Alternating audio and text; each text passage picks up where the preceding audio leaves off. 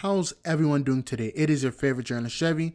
Before I get into the story, make sure you click that subscribe button just so you could be privy to all my unique takes on dancehall news as it happens. I promise you won't regret it. With that said, Konshens man. I love when dancehall artists are actively engaged on social media and share high quality content, and Konshens is probably one of the best in dancehall at doing that. Recently, Konshens shared a post about the views on two of his recent videos on his YouTube page, Beautiful and Turn Around. Both videos were dropped two weeks ago, but Turn Around has literally seven times the views of Beautiful, despite Beautiful being a music video. Konshens shared his thoughts on this in his caption, saying he's not going to be making thought provoking music anymore, and instead, he'll only write these songs for others to sing because maybe those songs will hit if someone else was to sing them. So from here on out, we'll only be hearing party and gal tunes from the one named Shenseea quickly chimed in agreement with the post along with many others, but there were actually many fans who were disagreeing with Konshens, mainly because they wanted him to remain a well-rounded artist. While scrolling through the comments, I saw one woman who was claiming that Turnaround was a much better song than Beautiful. The rhythm Turnaround was on is far more popular, and just because it's positive doesn't mean it sounds good. While it's fact that Turnaround is on a very popular rhythm, it's factually not correct to say that Turnaround sounds much better than Beautiful. Now, I might be biased, considering that Beautiful is currently in my rotation, but the production and melody on Beautiful is far superior to almost any party song that Konshens has ever made. You can tell that she has never listened to the song if she's gonna be saying some foolishness like that. I'm just being honest here. Then this woman tried tagging Tarrus Riley to validate whatever foolishness she proceeded to say, and Tarrus respectfully corrected her in a way and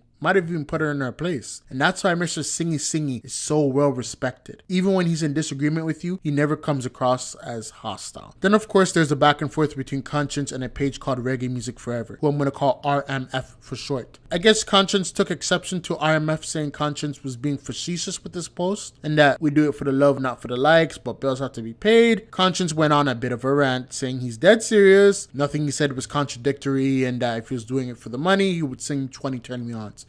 If you want to read the whole back and forth, just pause the video and read it. I'm going to be continuing. Konshens and RMF ended up coming to an understanding, so be it. Here's my thoughts on all this. In some ways, this news is good and bad for the culture. For one, more sexually charged music means more hit songs from Konshens, meaning more fresh music playing in the parties at yard and abroad, meaning the expansion of dancehall music internationally. On the other hand, obviously it's a sad day when a big artist feels like they can't be themselves because the music just isn't getting the traction that it should. And truthfully, Beautiful is a huge tune, but by the same token, I only know the song because Konshens shared it on Instagram last month. Think about it. The song was out for a while without a music video, yet most people never even heard it. For me, I'm all for expanding the culture by any means necessary. If we have to compromise a bit and have the dancehall artists really push the slackness a bit to get the exposure so that people will eventually tune into the positivity, then I say the ends justify the means. Look at someone like Alkaline. This guy went from talking about his mother should have aborted him to talking about how he's asking God to show him the way. So yeah, Konshens, man, do your thing. Make as many party and sex songs as possible, please. This would be best for all of us. Do you think my thoughts on this are misguided? Let me know in the comments below. Now, really quickly before I go, one underrated part of Konshens' post is the fact that he's writing music for others. Now, this isn't a secret. This is something many of us knew from long time, but I'm still interested in knowing who exactly he's writing for. I have a few guesses in mind, but I'm going to be keeping that to myself. With that said,